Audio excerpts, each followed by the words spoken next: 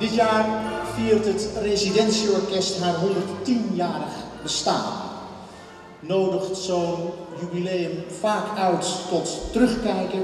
Wij willen dit, deze verjaardag graag gebruiken om van de daken te schreeuwen wat wij nu zijn.